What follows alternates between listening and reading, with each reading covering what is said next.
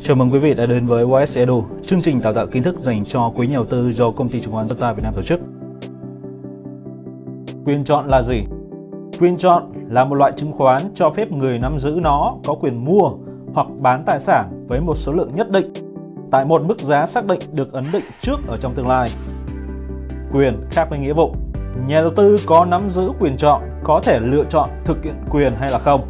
Nếu thị trường thuận lợi theo hướng giả định của họ, họ có thể thực hiện quyền để kiếm lời. Nhưng nếu thị trường không thuận lợi, họ có thể từ bỏ không thực hiện quyền. Đây là đặc điểm khác biệt giữa quyền chọn so với các tài sản phái sinh khác, như là hợp đồng tương lai hay là hợp đồng kỳ hạn. Nếu nhà đầu tư mua quyền chọn mua, tức là họ đang dự đoán giá cổ phiếu sẽ tăng. Và khi giá cổ phiếu tăng, họ sẽ thu về lợi nhuận lớn hơn mức tăng của cổ phiếu ở trên thị trường cơ sở do có đòn bẩy cao nên sẽ làm khuất đại lợi nhuận. Còn nếu cổ phiếu giảm thì họ có thể từ bỏ không thực hiện quyền và lỗi tối đa là mất phí mua quyền chọn. Còn nếu nhà đầu tư mua quyền chọn bán, tức là họ đoán giá cổ phiếu sẽ giảm. Nếu giá tăng, họ sẽ lỗ tối đa là cái khoản phí họ mua quyền. Còn nếu giá giảm thì họ sẽ thu về khoản lợi nhuận lớn hơn so với việc thực hiện quyền.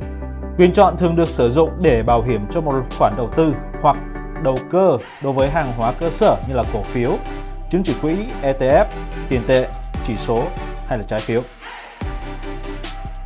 Để tìm hiểu thêm thông tin và học thêm nhiều kiến thức, hãy bấm like and subscribe các trang Facebook, YouTube, Telegram và Zalo của công ty chứng khoán Zanta Việt Nam. Đồng thời, đừng quên mở tài khoản eKYC tại công ty chứng khoán Zanta Việt Nam để sử dụng các dịch vụ và sản phẩm hấp dẫn của chúng tôi như là Wise Radar, công cụ hỗ trợ đầu tư chứng khoán thông minh và hiệu quả. Wise Winner, cổng giao dịch trực tuyến chứng khoán cơ sở. Wise Future, cổng giao dịch chứng khoán phái sinh. YS Edu, đào tạo chứng khoán chuyên sâu. YS Promo, ưu đãi và chương trình khuyến mãi chỉ có tại Zonta. YS Uri, mua giấy số, tư vấn online 24 trên 7.